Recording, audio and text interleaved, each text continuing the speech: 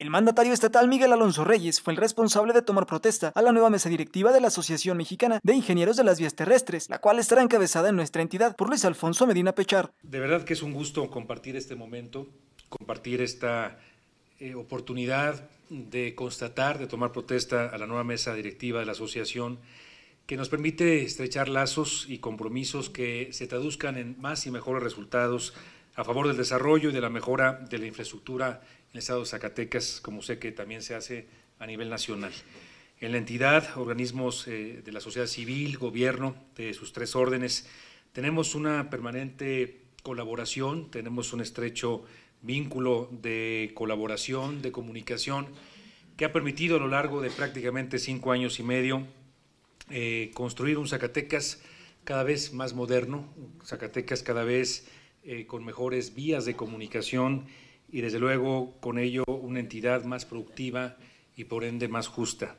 Por ello es satisfactorio pues eh, tener este acercamiento con una de las organizaciones que destaca por sus integrantes, por el conocimiento que tienen de esta materia tan singular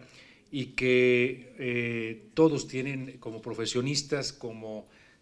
constructores, como arquitectos, como instituciones educativas, pues un vínculo cercano en el día a día y en el esfuerzo cotidiano de construir una mejor entidad y generar con ello, eh, además de vías de comunicación más modernas, generar empleo como parte de una de las tareas más representativas de, nuestra, eh, de nuestro esfuerzo cotidiano. En este sentido, se destacó la presencia y el papel de una asociación como esta en el desarrollo vial de nuestro país y en específico del estado de Zacatecas. Tenemos mucho por hacer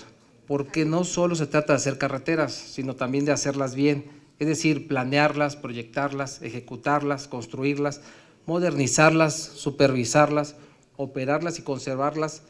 en las mejores condiciones posibles. ¿Cómo lograrlo?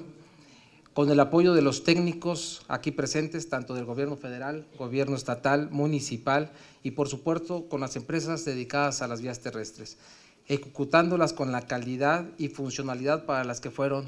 o han sido proyectadas. Con imágenes de Alberto Hernández para B15 Noticias, Juan Pablo Castro.